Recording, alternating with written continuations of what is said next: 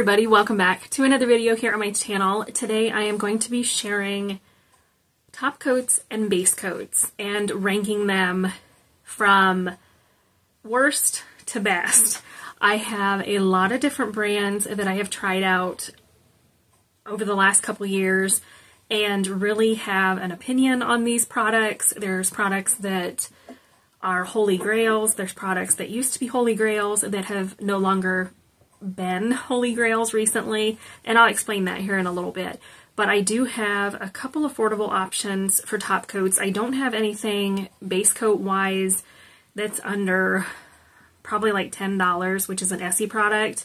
Um, but I know you can find some of this stuff at like discount stores like TJ Maxx, Marshalls, um, probably clearance finds, things like that. So let's go ahead and get into it. So we're going to start off, I think, with base coats. That's what I have the least amount of in my current nail polish arsenal. I don't always use a base coat. I do, however, go in with my Duri Rejuvacote for every time I do a manicure. There was always this product on my nails, no matter if I'm wearing polish or not. I always have this on my nails. This is a product I've had for three years, I think. It works well as like a nail treatment, but it's not something that I think I'll repurchase just because this can peel in a few days for me if I do like two coats. You're supposed to apply this every day and then take it off and reapply. I don't do it that way, but this is a product I feel like my nails are a little bit stronger when I wear this under polish. So it is something that I really enjoy but I don't think I'll repurchase it just because one, it's expensive. Two, I have a couple refill bottles, so I won't need to repurchase again. Three, it doesn't work quite as well as Rejuvacote claims it will. So with the Rejuvacote, it is a staple as of right now. It's been a staple in my manicure routine since I bought it and it'll probably stay until I finish it up and then I'm going to move on to something else. There is a base coat or treatment at Walmart that I want to try, but I don't want to try it until Duri Rejuvacote is gone. Um, I can't think of the name of it. There's two different kinds. It's like five or six dollars. It's supposed to strengthen your nails, something like that, prevent like peeling, chipping, all that stuff. I'll try to insert a picture, but that's the one I've been eyeing for a little bit, but I'm not in the market for a nail treatment, so to speak, as of right now. So moving on to base coats. I have found that a base coat isn't necessarily a must in my manicure routine. I usually will use a base coat on top of the Rejuvacote and then go in with my polish, top coat, things like that. I like having a little bit extra added protection on my nails, so I do it that way generally, but here lately, I've kind of reached a little bit of a snag when it comes to my manicures not drying down. And I think I figured out what the culprit is. I use a fast dry top coat. I have changed top coats, but it doesn't matter which one I use. I still will have some manicures that just don't dry, and I'm like, okay, what's the problem?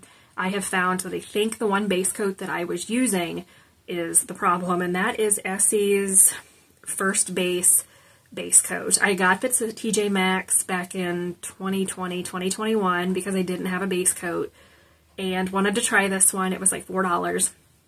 But every time I use this base coat in conjunction with my manicures, they don't dry. I will be dinging them. You can push the polish off your nail, the whole nine yards. It doesn't set, and I don't know why. So I have since stopped using this here recently and I will sometimes skip a base coat aside from the Rejuvacote and go in with polish, top coat, whatever, and I don't have a problem. That's kind of what I've been doing because that Essie polish, for whatever reason, I think it could be because it's old. I've had it for a while. It is over half gone. I'm trying to use it up, but I'm like, if it's going to make it to where my polishes don't dry, I don't think I want to use this. So for now, I think that's going to be set aside. I might see if my husband wants to use it.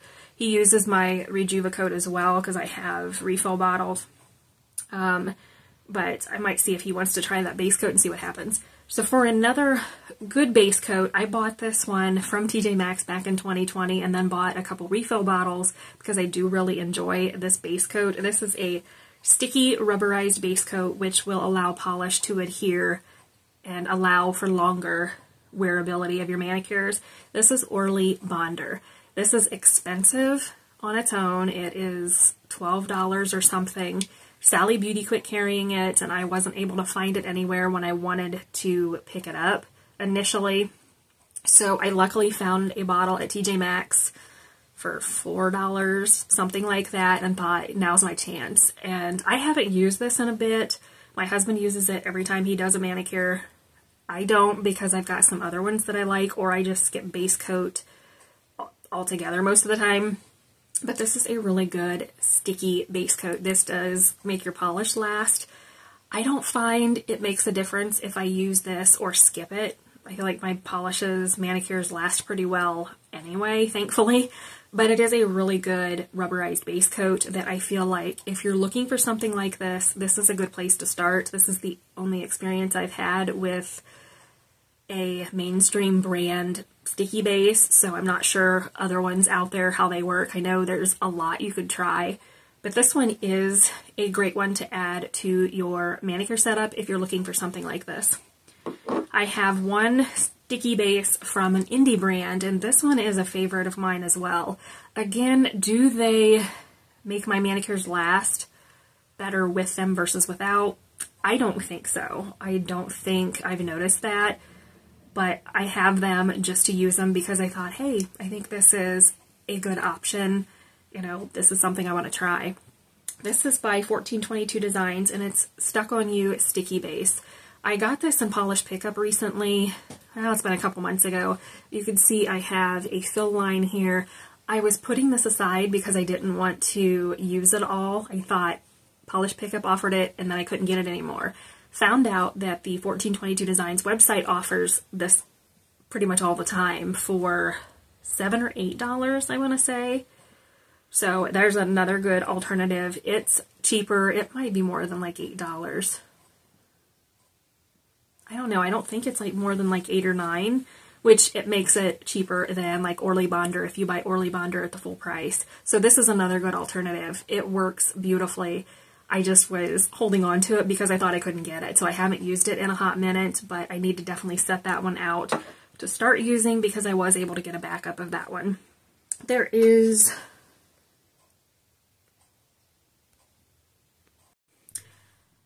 I realized I forgot a base coat that had been in my nail tub. This is one I don't use all that often. I got it to try to see if it would help improve like the appearance of my nails. This is Vibrant Vinyls Double Bond Ridge Filling Sticky Base Coat. I got this off of PPU, I think, and this is Treat Yourself. It's scented.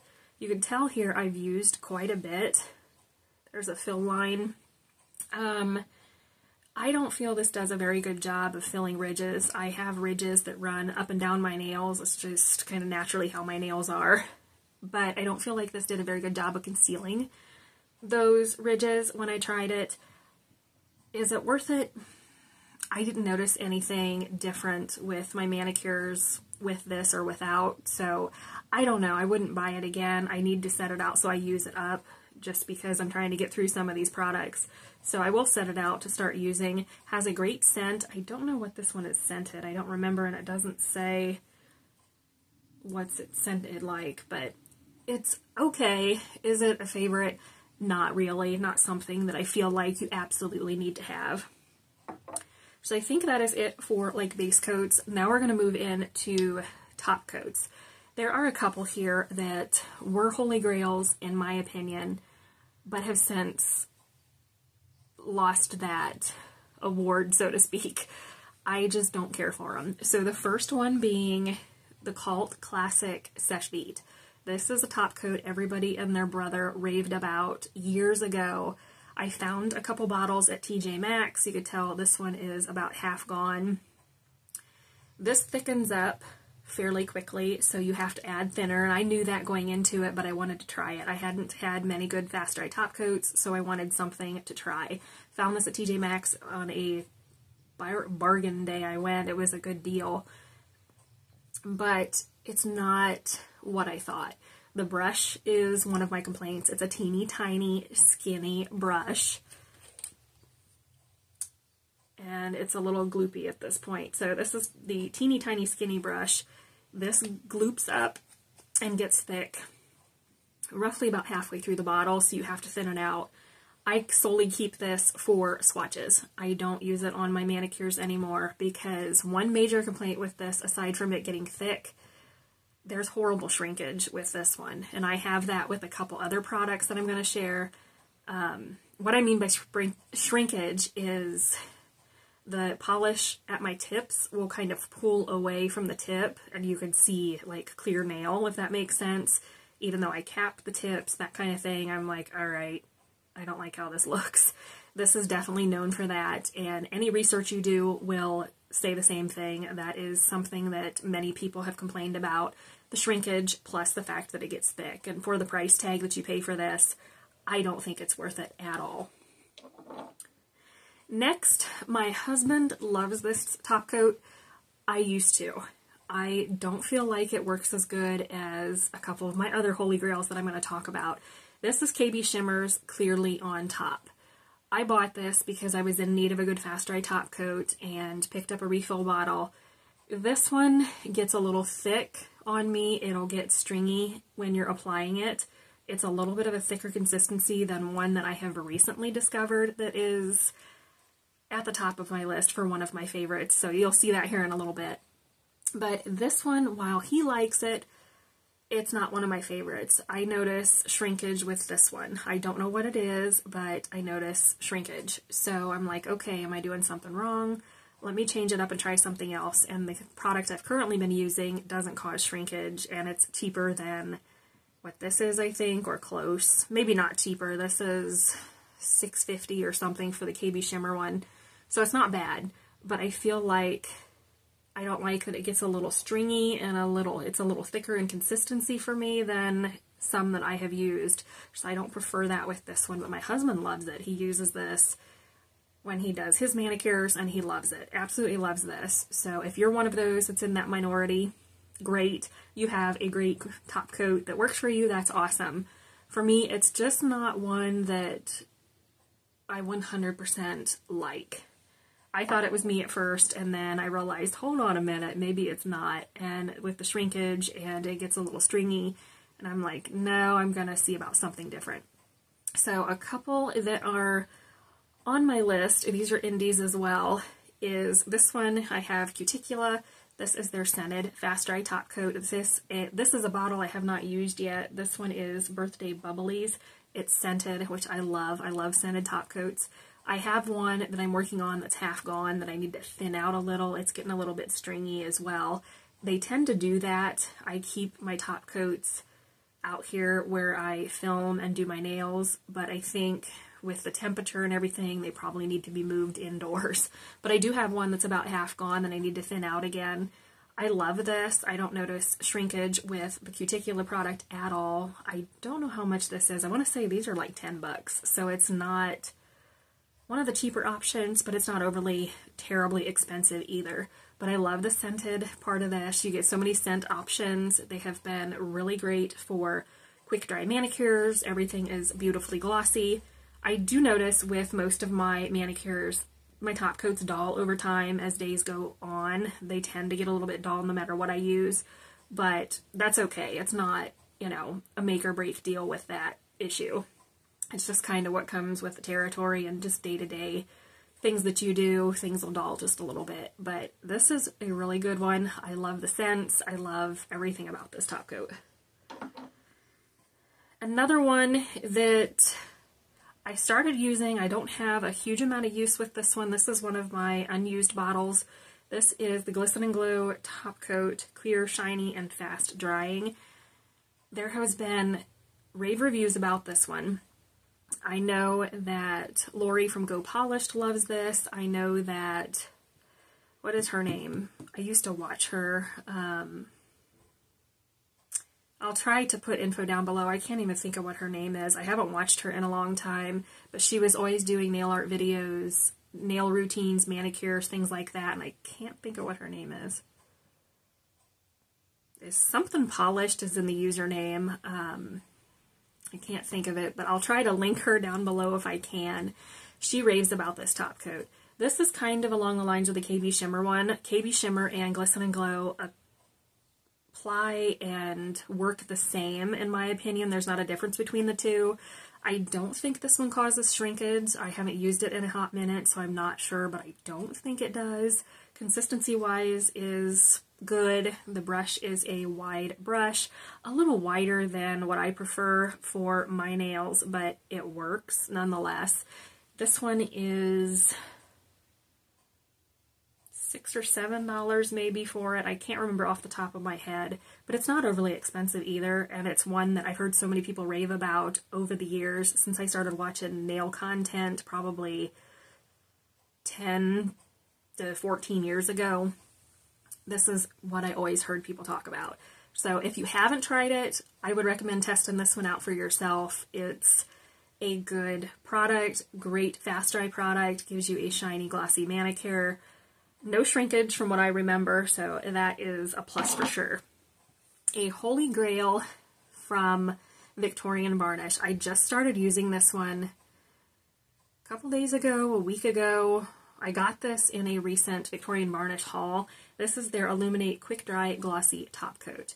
This is $8, I believe, and you get 17 ml in here. This is going to be the best bang for your buck if you're looking for amount versus price, where KB Shimmer, Glisten and Glow, they are all 15 mLs and you're paying 6 to $8 a bottle for those. This is 17 ml, I believe, for $8. So great price, great option there if you're in the market for it. I love this. I have started using it. It's the perfect consistency. The brush on this is top notch, one of my favorites. This is so easy to apply. It is thin, it applies like a dream, it dries so, so quickly. I used it with my manicure that I have on right now, and even with the little dots that I did, I have a little bit of streaking, but that's because I don't think I waited long enough for the dots to dry. But this is top-notch, one of my favorites. I ordered two of these when I made my purchase, and I will definitely keep using this one. This is definitely gone up to the top of my list for amazing fast dry top coats. I have one other option that is an affordable option if you are looking for a fast dry top coat on a budget. This is available at Dollar Tree. This is from the brand Super Dry. I started using this in 2022, 2021 I picked it up on a whim, trying to see if I could find a fast dry top coat that would work. This works really well. Absolutely an amazing product. I don't use it much anymore because I kind of forget about it and I've got other top coats I want to try to use up first. The other bottles of this are still in their packaging, so I'm kind of like, we'll just hold off. I'll wait a little bit and try to use up what is open. But this is a great product. I used it. I raved about it. I posted a video about it when I first picked it up and tried it out, and everybody's like, yeah, that is a great Fast Dry Top Coat. It's still available. It's $1.25, I think. Prices at Dollar Tree are going up, so it may be a little more now, but this is one of, used to be one of my favorites. I use this solely for, like, swatches anymore. I don't use it on myself because Victorian Varnish has my heart, so I don't reach for this one, but it is a great quality product. If you're looking for something that is affordable, allows your manicure to dry quickly, this is a great choice. So that's it. That is everything that I have that I have tried out and like it or don't like it, absolutely love it, kind of like it, that kind of thing. There's a lot to choose from. You'll have to let me know if you have a Holy Grail product out there that is a must-have for your manicure manicure routine.